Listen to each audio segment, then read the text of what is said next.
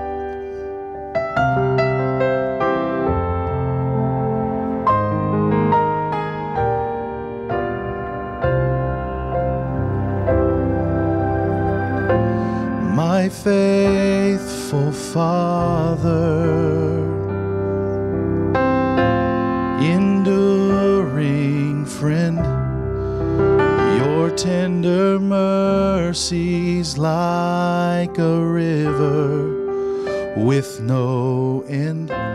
It overwhelms me,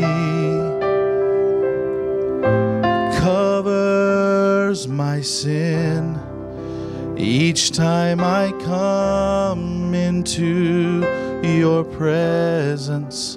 I stand in wonder once again. Your grace still amazes me. Your love is still a mystery. Each day I fall on my knees. Your grace still amazes. Your grace still amazes me.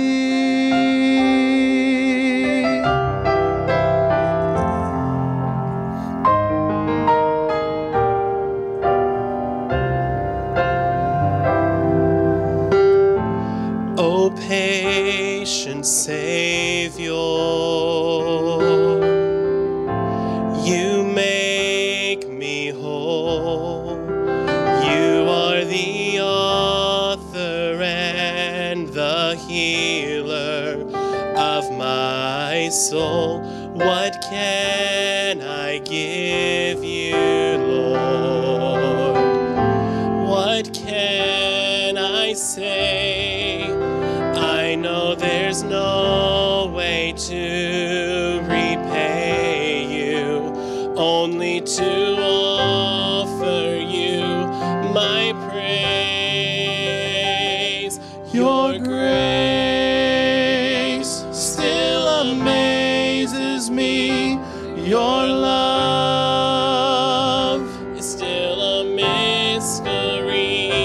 each day I fall on my knees. Your grace still amazes me. Your grace still amazes me. It's deeper, it's wider,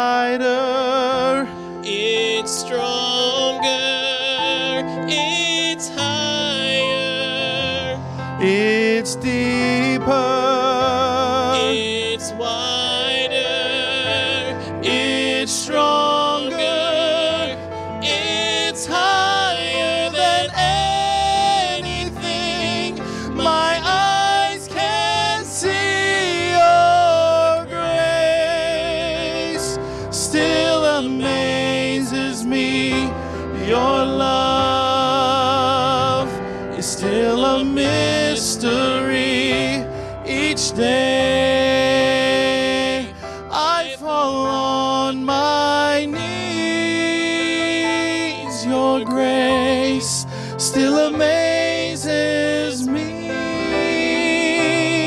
Your grace, your grace still amazes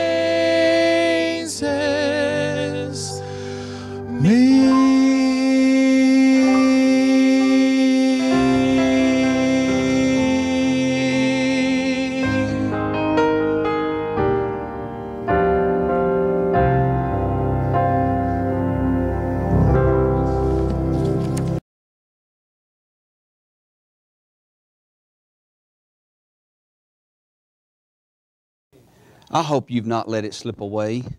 God's love and mercy to you. I trust you haven't. Psalm 137. I trust you'll find your place in Psalm 137. Take your Bibles if you would. And I'm going to bring a message. I don't like want to bring a message like I'm going to bring this morning because typically God does a work in my heart, and He has done a work in my heart out of this passage. And I, you're always a little reluctant to bring a message like this because sometimes you feel like a failure, you know. And, uh, but I know message that's born in the heart speak to the heart. And there's one of these messages. Several months ago, you've heard me say, if you've been around here very much, you heard me say it. I heard a man say, he brought a challenge to the people listening, and he said, I challenge you to read the book of Psalms on your knees. Read the book of Psalms on your knees. And that was an interesting challenge. I never heard anybody say that. So I took that challenge, and I'm telling you, it absolutely changed your Bible reading. We live our life in such a way that we don't take time to be with the Lord. We don't live and we don't be in a situation a lot of times where God has our undivided attention. We live our life and we go and we do and we're busy. We get the day planned out. We've got the day ironed out. We've got our plans. And often, and I'm so guilty of this my own self, my day does not involve God. And that's just the truth. I get up and I go and I, I proceed in the day and I, I traffic through the day and before I know it, I went and I've not even spent time with God. When I read Psalm 137, especially on my knees, and I began to realize, and God speaks to me in verse number one, the Bible says, But the rivers of Babylon, there we sat down. Yea, we wept when we remember Zion. Notice verse number two. We hanged our harps upon the willows in the midst thereof. For there they carried us away captive, required of us a song. And they that wasted us required of us myrrh, saying, Sing unto us one of the songs of Zion. How shall we sing the Lord's song in a strange land? I forget thee, O Jerusalem. Let my right hand forget her cunning. If I do not remember thee, let my tongue cleave to the roof of my mouth. If I prefer not Jerusalem above my chief joy. We can go on to read, but that, that captured me when I got to verse number two. When I read that expression, they have hung their harps in the willows. And as I read that portion of Scripture, and God brought to my mind the visibility that the vision that I read in my mind when I read that, the Bible says that the, the children of Israel are captive. They're brought into bondage. If you know the, the name of Babylon, anytime you find in Babylon that the children of Israel in Babylon, they're in bondage. God's using Babylon, God's using the enemy to correct them. God's using this particular setting. This is a psalmist of David, and he's writing these words. He says, When I sit down by the river of Babylon, he said, Why is that so important? Because it's not the Jordan River. It's not the rivers of Israel. It's not the, the Pharpar River, and it's not a Abana River. It's not the rivers of Jordan. It's the river of Babylon. They're in a strange land.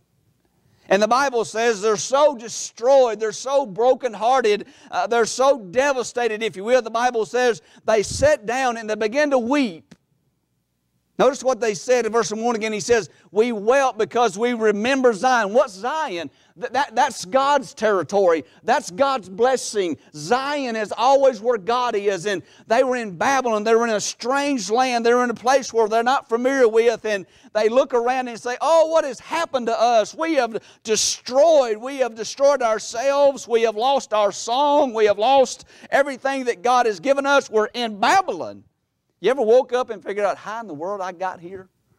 You know, sin will take you somewhere that you never want to end up. I, I can't help but think when I think about Babylon and they got down and they sat down, the Bible says they remembered, they were disgusted with themselves. And the harp that which represents a emblem or a symbol of joy and rejoicing and peace and, and contentment, the Bible says we have no peace and have no contentment, and they hung their harp in the willows. And I'm looking in the faces of of Christian people that I believe with all of my heart have hung their harps in the willows.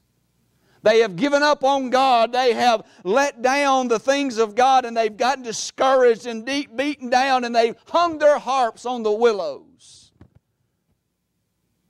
My message to you this morning is where's your harp hanging? Where's your harp hanging this morning? I notice in this particular portion of Scripture, they did not hide it behind the bushes. They did not throw it in the ditches. They, there's something reverent about the harp. There's something reverent uh, about what they had and they know to be God. And it's almost like throwing your Bible down in the ditch. And we wouldn't deliberately do that. We wouldn't throw our Bibles in the ditch or we wouldn't throw the American flag in the ditch. We wouldn't throw the things that are sacred to us. They didn't throw it in the ditch. They didn't throw it and destroy it. They didn't break it over their leg and throw it in the ditches, and they didn't do anything damaging to it. They just simply hung it up. Almost to say, there's no need in this anymore. Almost to say, that we don't have the joy that God gave us once. We don't have the rejoicing that God gave us. And my question to you this morning is where's the joy that Jesus promised? Where's the joy that, that comes with the Christian life? You know, salvation and being a Christian is not just going to heaven. You are forfeiting yourself, and I'm forfeiting myself if all we're waiting on for the salvation that we have is to get to heaven.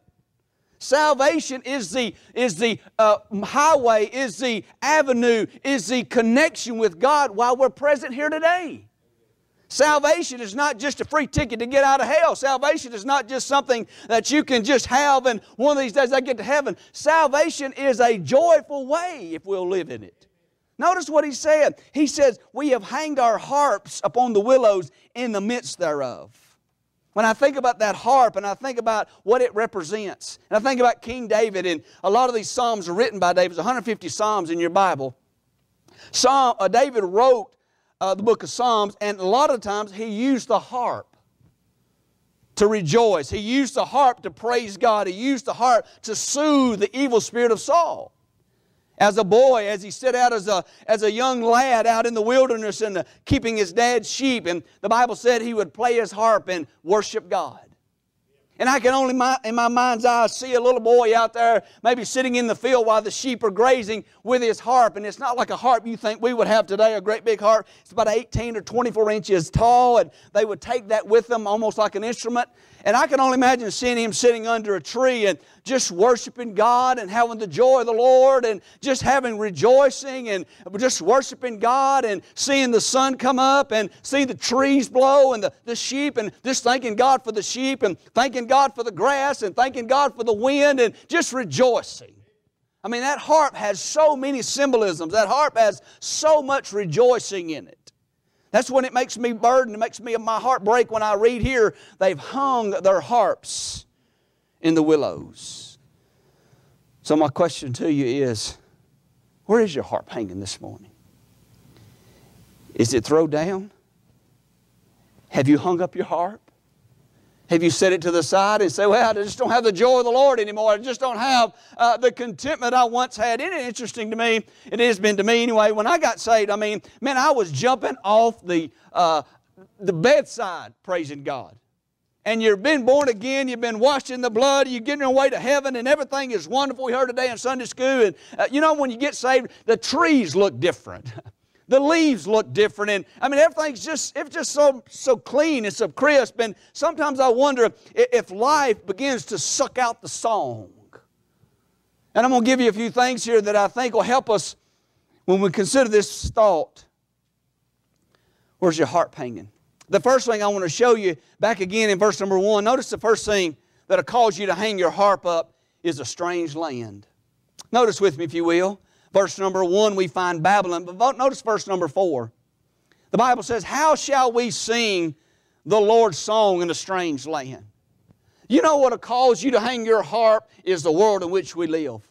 I'm going to tell you something. It's hard, no doubt, to go in and out of our day on a daily basis. I'm talking about just punch a clock and go to work and come out and go here and go there and still sing a song for God. This strange land, and let me remind you, we're Christians, this is not our home. This is not, we're just passing through this place. You know what's happening to us? We get our roots buried down in this world and we get to looking at this world and we get discouraged. Can I tell you, remind you, according to the Word of God, that we're just passing through? You're not supposed to like this world. If you know the Lord Jesus as your Savior, look, I know it's disheartening things that's going on. I know the things that are around us we can't control. But look, God said we're just strangers. We're not supposed to set root down in this place anyway. If you get content with this world, you're out of the will of God anyway. if all of this stuff doesn't bother you that's going on in the world and all the things around us is just whatever happens, I'm going to tell you something. God said that when you're in a strange land, the people mourn. The wicked, the Bible said in the book of Proverbs, when the wicked rule, they mourn. When the righteous in rule, they rejoice. We're in a strange land, beloved. This is not our home. This is not our dwelling place. He said in Babylon, Babylon is very, very wicked at this time. And then when they came out of uh, Israel and went into Babylon, they had to look at other gods. They had to listen to other music. They had to uh, uh, give allegiance to other kings. I mean, everything in Babylon was different. You know, if you're going to live for God, you're going to live this life different because this is not our home. He said here, he said they hung their hearts because they's in a strange land. This world has a way of sucking it out of you. This world has a, a, a way of just killing you on your, on your, uh, your joy. Where is the joy? We've hung it up. When I think about Zion, when I remember, notice what he said back in verse number one. He said, They remember Zion. What is Zion? Now, that's the temple. That's where the temple of God was in the Mount of Zion. And they would go to that place for refuge, they would go to that place for strength. I think so much about that with about church. As you heard me say many times, church attendance does not fix all. But there's something about church that ought to be a refuge. There ought to be something about church where you can come in and, and sit around God's house with God's people and hear God's word. This ought to be a place of difference. This ought to be a place of refreshment. This ought to be a place when you walk in these doors and sit down and say, Praise God, I'm at church.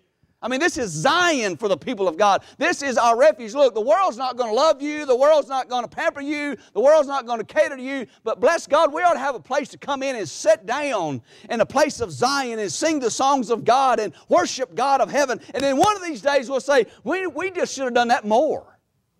We should have done that more. It, it, it hurts a man's heart. It hurts a pastor's heart when, when you see people slipping out of church. The devil does this. I know he does it. it, you miss a Sunday, not too bad. You miss another Sunday, it gets a little easier. Miss a couple Sundays, it gets a lot easier. Before you know it, it's been a month since you've been in church. They got to a place in Babylon and they looked around and said, Oh, oh, I would to God we could get back to Zion where God's blessing was. I wish we could go back. You know, that's what happens to this world. When you hang your harp up, your joy slips away. They were broken over their captivity, and they should have been. Nothing is going to correct America like some trouble. God's going to bring America to her knees. And He's going to do it through heartache and difficulty and trouble. Prosperity, we don't need God. But you let God bring a heartache and difficulty, people hit their knees. It's exactly what we find here. They remember Zion. They knew how good it was in the church house. They knew how good it was in God's blessing. They knew how good it was, and that's why they wept. Oh, I still think about that prodigal son. I mentioned him last week, but he's worth mentioning again. That prodigal son said, Oh, I got to get back to my father's house. I got to get back to where the blessing is. I got to get back to where they, the, the, they flow with milk and honey. I've got to get back. I remember where it was good at my father's house. If you'll notice here, they wept. I find something interesting there. They wept openly. You notice that? You know what I find in verse number one? I find they lost their joy and they're urgent about it. People have any problems weeping openly and in public when it's urgent. It's easy to conceal, it's easy to hide, it's easy to stand behind something and be hidden. But when it's true tragedy and true heartache, you don't care who's watching. I'm going to get right with God. Here, the Bible says they wept when they remembered. Go with me, I'll come right back. Go with me to Hebrews 11 real quick. Real quick, and I'll come right back. Hebrews 11. I want you to see something on the line of hanging your harp and being in a strange land. I'm going to remind you of something. Hebrews 11, verse 14. For they that say such things declare plainly that they seek a, seek a country. And truly, if they had been mindful of that country, notice this now, if you're mindful of that country, he's reminding us, if you're mindful, from hence they came out, they might have opportunity to have returned. But now, they desire a better country. That is, a heavenly, wherefore God is not ashamed to be called their God. Look, the day you get ashamed of God is the day you lose your joy. He says, they're not ashamed to be called by God. He said, for he hath prepared for them a city. By faith, Abraham, when he was tried, offered up Isaac, and to receive the promises, offered up his only begotten Son. Verse 19 accounting that God was able to raise him up even from the dead, from hence he also received a figure. You know what he's saying? You get your roots in this area, you get your uh, satisfaction in this world, you're going to be highly upset. They lost it. They hung their harp up because they were so destroyed because they was in a strange land. Notice the next thing I want to show you. Notice the, their song got stolen. Notice verse number three. I always know when my heart's been hung up in the willows is when I quit singing. You say, when the preacher, you can't sing. And I'd say, Amen. But I can sing in my heart toward the Lord. You know when I always know I've gotten backslidden on God is when I don't want to sing. And I'm not saying you got to be a professional singer. I'm not saying you've got to be some sort of concert soloist. I'm not saying that at all. I'm just saying when there's not a song in your heart, you know you've lost the joy of the Lord. Honestly. You walk around and the world's drug you down. The, you're living in a society that's on every turn, it's stealing your joy, and before you know it, you've stopped singing. The Bible says, notice what he said, verse number three and four. He said, How can we sing a song? They required, notice what? They required of them, they're captive, remember now, they're slaves, if you will. They have brought them into Babylon and they told them, Sing. It wasn't out of devotion, it was out of duty. And that's a, that'll steal your joy when you think you've got to do something out of duty instead of out of devotion. When it changes from devotion to duty, then you've lost your joy. He said, Sing a song. The Babylonians said, Sing a song. And they said, How can we sing a song? We're in a strange land. How can we sing God's song? Even the world said, Sing us something about God. They knew they needed God. This world can say what they want to, but when tragedy strikes, they know they need God. They can say what they want to, they can cover it up, they can say we don't need it, but in their heart, they know we need God in this. And the whole time they're kicking him out, the whole time they're expelling him, the whole time they're wanting him out, but the whole time they need him. The song gets stolen. That's when you know you have hung your harp up. When's the last time, beloved, that you've sang? I was blessed this morning. I didn't prompt him. I was walking through the house and I heard one of my children singing the songs of Zion. And I was walking through the hallway, had this on my mind. I said, Thank God he's got a song. Thank God he's got a song. You know what that does? That heart, that song identifies your heart. When you can't sing, you have hung your harp in the willows. You say, why is that so important?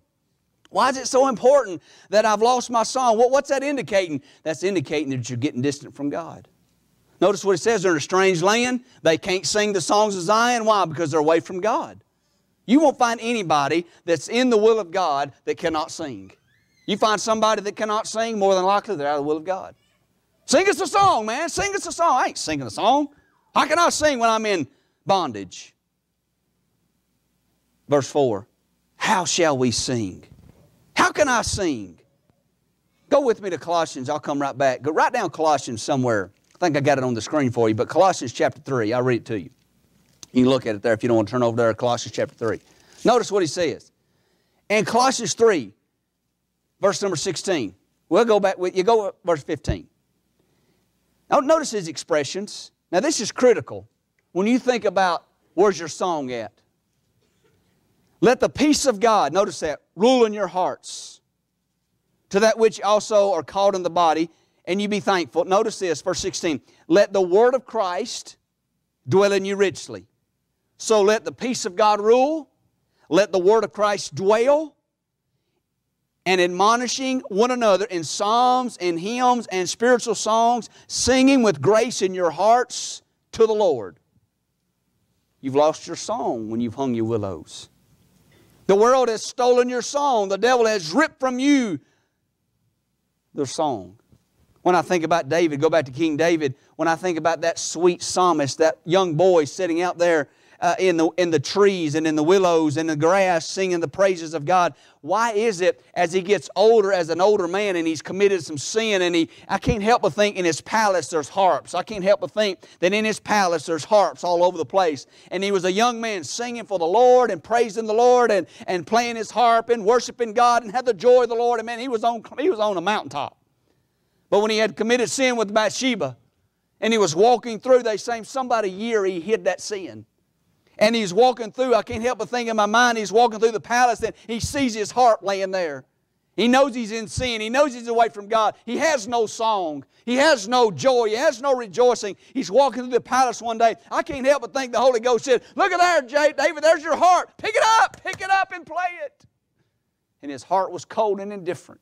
And he walked by that harp and wishing he could play it, wishing he had the joy of the Lord, wishing he had the rejoicing in his heart once again. I'm going to tell you something. That's a miserable place for a Christian to walk by your harp, knowing you used to could play it, knowing you wanted to play it, but you've got distant from God and said, Oh, I wish I could play that harp. I've hung it up. I've quit. I've got the joy of the Lord. I don't have it anymore. He said they require me a song I can't sing. Colossians says, Get the word of Christ in your heart. You'll have the peace of God and grace to be in your hearts. He said, How can I do that, preacher? Get in this book. If you've heard me say one thing thousands and thousands of times, and it should be repeated thousands and thousands more, is get in this book. You neglect this book, and you're neglecting your Christian life. You cannot have, listen to me, you cannot have the joy of the Lord and neglect this book. It is an impossibility. You're not going to get up and spend your life and not read God's Word and have the joy of the Lord. God's not going to play tricks with you. He says, they required a song, but I can't sing because I'm distant from God. May ask God to give you joy back, give you a song back. I read in Nehemiah where the Bible says, The joy of the Lord is your strength. You know why we have a bunch of weak Christians? Because they don't have any joy. You know why they don't have any joy? Because they've gotten cold and indifferent on God. They ain't spent time with Him. They ain't read His Word. They've not prayed. They've not done anything for God. You think He's going to give you your joy and peace? Absolutely not. And it shows. You can't hide that. You, you, you cannot hide the countenance when you've got the joy of the Lord. You know it, you see it, and you know in your heart when you've got it. And you know in your heart when you don't have it. You know when you're distant from God. I don't have to tell you that. Preacher don't have to tell you that. A Christian don't have to tell you that. Holy Ghost tell you that. Man, I wish I had my song back. Man, I wish I had the joy of the Lord again. Man, I wish I could get that heart back down and tune that and get the dust off that thing and start playing it for God. I've hung it up in the willows. Last thing I want to show you, it steals your song when you've hung your harp up. You're in a strange land, no doubt it'll suck, it'll suck your song out. The last one, and also it'll destroy your testimony. The day you hang your harp up is the day your testimony starts going down the tubes. You say, What are you talking about? Look at verse number six. He says, If I do not remember thee, that's what he's saying. That, that's that dedication. That's that devotion. When I don't remember thee, when I don't spend time with thee, when I don't talk with thee, when I don't read your word, when I don't have the joy of the Lord, he said, notice this, he said, let my tongue cleave to the roof of my mouth. God speaks so much about the heart. If you were here last week, we preached on departing from God, and the, the, the, the key evidence that you're departed from God is that you have a cold heart. Your heart's got cold and indifferent. God says so much about the heart. Go, go with me to Psalm 146, just one page over. If you start reading in Psalm 146, and you'll read all the way to 150, the very first word you read in those Psalms is this Praise ye the Lord. Praise ye the Lord. Praise ye the Lord. The book of Psalms is nothing but a praise book. Psalm 147 Praise ye the Lord, for it is good to sing praises unto our God, for it is pleasant and praise is comely. On and on. Verse 41 48. Praise the Lord. Praise ye the Lord from the heavens. Praise ye in the nights. Praise ye the angels. Praise him, praise him, praise him. What's he saying? Your heart identifies your harp. I can't praise the Lord. And when you stop praising Him, your testimony goes down. He says, Let my tongue cleave to the roof of my mouth if I prefer not Jerusalem.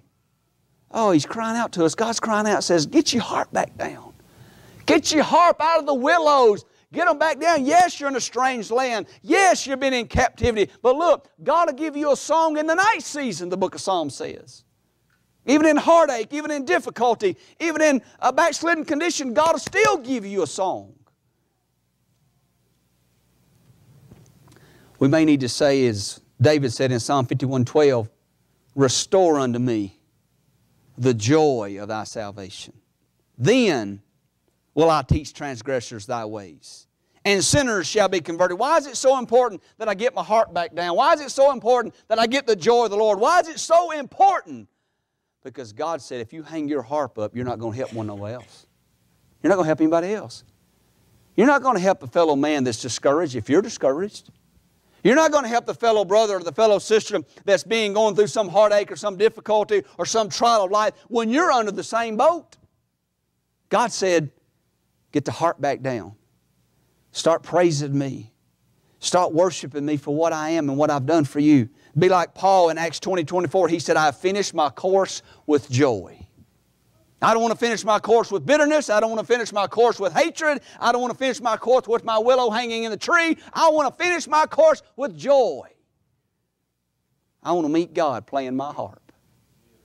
I want to meet God joyful. I want to meet God victoriously, Christian. Not some sort of backsliding on God.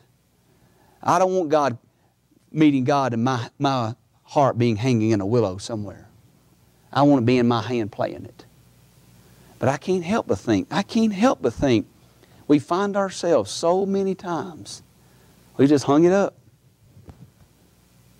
Cry out, restore unto me. God, give it back. Create in me a clean heart, O God, renew a right spirit within me. God will give it back to you. As He said, we hang our harps upon the willows. Would you pray with me? We'll go to the Lord in prayer.